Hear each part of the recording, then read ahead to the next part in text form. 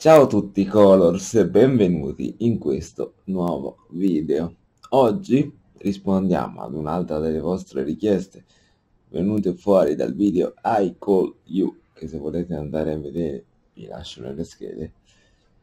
Stiamo parlando della richiesta della mia amica Roberta, che saluto. Ciao Roby, che mi è piaciuta molto nonostante sia un tipo di video che io sono poco abituato a fare più che altro perché avrò fino all'ultimo secondo il timore di dimenticare qualcosa. Stiamo parlando come avrete letto da titolo della recensione del gioco Harry Potter Hogwarts Mystery.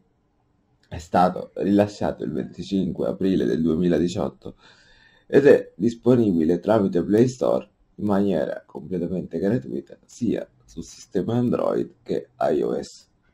Il gioco si ispira, come da nome, alla saga di Harry Potter, tuttavia è ambientato circa una decina di anni prima, perché eh, sentiremo, o meglio leggeremo, uno dei fratelli Weasley dire in un dialogo che il fratellino Ron, alias Ronald, ha circa 8 anni. Quindi parliamo di prima della venuta di Harry Potter. È classificato come un gioco di ruolo proprio perché la prima cosa che faremo all'inizio del gioco è di creare un personaggio.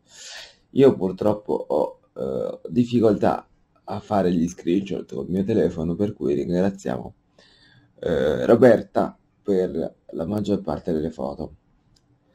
Quindi ci verrà chiesto di creare un personaggio, maschio o femmina che sia, non ha importanza, abbiamo entrambe le possibilità. Recentemente con uno degli aggiornamenti è possibile aggiungere la barba ai maschietti e il trucco alle femminucce. Un po' forse troppo rigido nel binarismo, ma ricordiamoci sempre che si tratta di un gioco per telefono, quindi non è che possiamo aspettarci grossi virtuosismi. Eh, lo studente frequenterà, o meglio, il termine ultimo è frequentare tutti e sette gli anni di Hogwarts e di sostenere anche gli esami.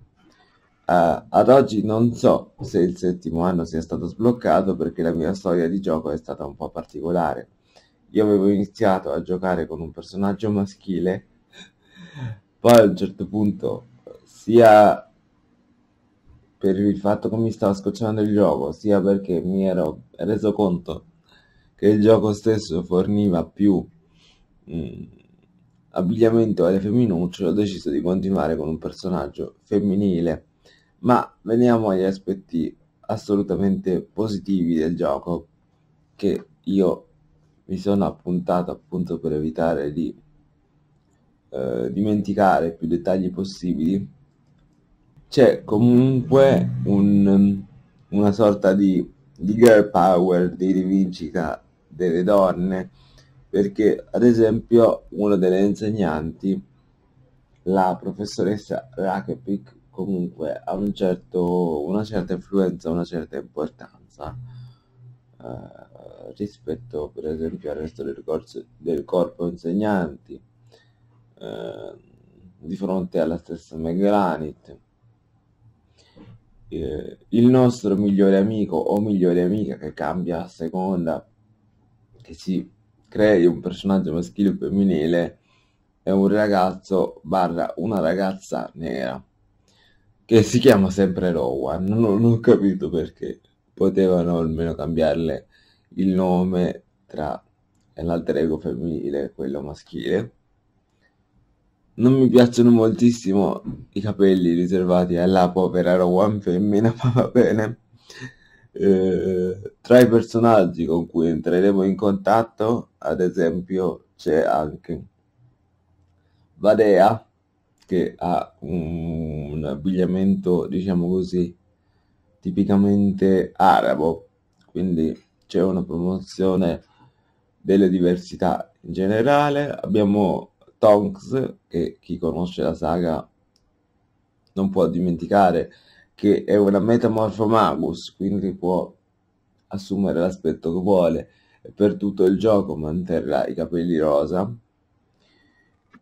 In determinate missioni secondarie è possibile addirittura scegliere il proprio orientamento sessuale e quindi decidere se avere appuntamenti con una ragazza o con un ragazzo oppure scegliere addirittura tra una ragazza e un ragazzo nel senso di avere un personaggio bisessuale quindi al momento dell'appuntamento scegliere se uscire con una ragazza o un ragazzo indistintamente mentre nel caso di un personaggio omosessuale ovviamente si sarà proposto solo il nostro stesso sesso avremo il personaggio strambo che è quello di Liz Turtle, spero di aver pronunciato bene, che tra l'altro ha anche dei tratti afro, quindi nuovamente una promozione eh, delle diversità.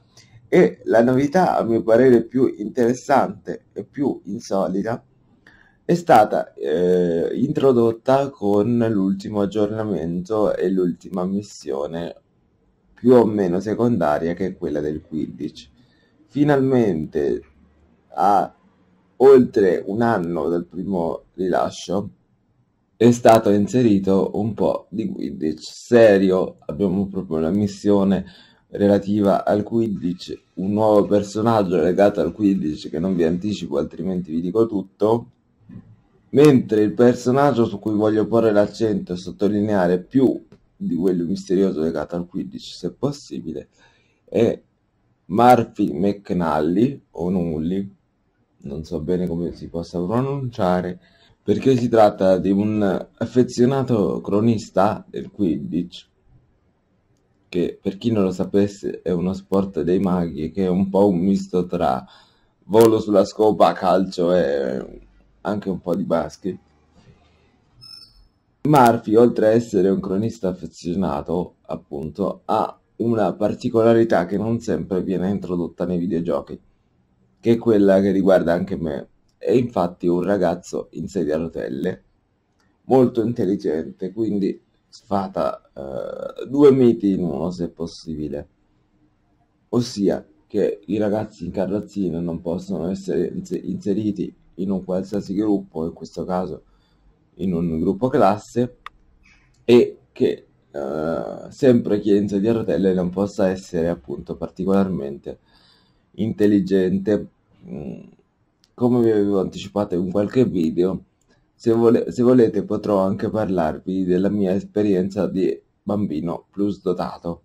Fatemelo sapere qui sotto nei commenti se vi può interessare, perché io non vorrei sembrare evanesio però vi assicuro che questa cosa è oggetto a volte anche di discriminazione. Bene, io eh, penso più o meno di aver detto tutto. Se ho destato in qualche maniera il vostro interesse, vi ricordo che potrete trovare il gioco nel Play Store, sia che abbiate Android, sia che abbiate iOS. Se non siete iscritti, iscrivetevi al canale, attivate la campanella per non perdere alcuno dei miei video e noi ci vediamo al prossimo. Ciao.